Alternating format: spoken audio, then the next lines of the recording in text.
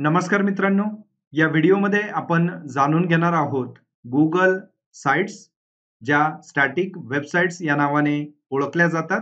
तर या वेबसाईट्स तयार करण्यासाठी कुठल्या मार्गांचा उपयोग करायचा? जर तुम्हाला गुगल साइट्स या तयार करायच्या असतील तर त्यासाठी सुरुवातीला तुम्ही तुमच्या गुगल ड्राईव्हमध्ये लॉग इन व्हायचं आहे. लॉग इन केल्यानंतर अशा पद्धतीचा इंटरफेस हा या ठिकाणी ओपन होत असतो.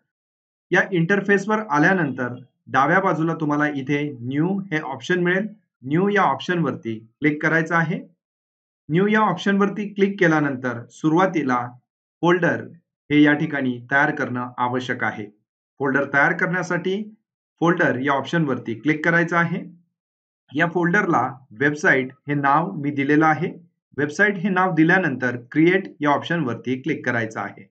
त्यानंतर वेबसाईट हे फोल्डर इथे तयार झालेलं आहे.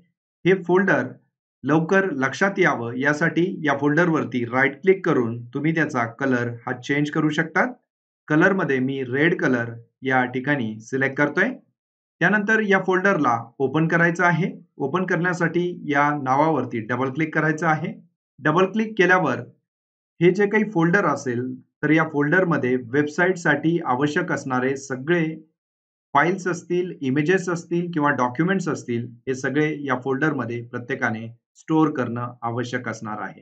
त्यानंतर आता वेबसाईट्स तयार करण्यासाठी डाव्या बाजूच्या न्यू या टॅबवरती जायचं आहे.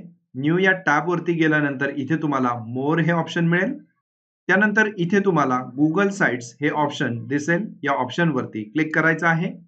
या ऑप्शनवरती क्लिक केल्यानंतर गुगल साइट्सचा इंटरफेस इथे ओपन सर्वप्रथम या अनटायटल साईटला तुम्हाला जे नाव द्यायचं ते नाव तुम्ही इथे देऊ मी या वेबसाईटला डेमो साईट या नावाने सेव्ह करतोय. डेमो साईट हे नाव दिल्यानंतर जे पेज असेल, या पेजला तुम्ही टायटल द्यायचं आहे.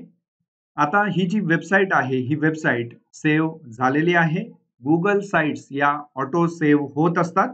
हे पेज तयार झाल्यानंतर मी क्लोज करतोय. क्लोज केल्यानंतर तुमच्या वेबसाईट या फोल्डरमध्ये डेमो साईट या नावाने ही साईट इथे तयार झालेली आहे.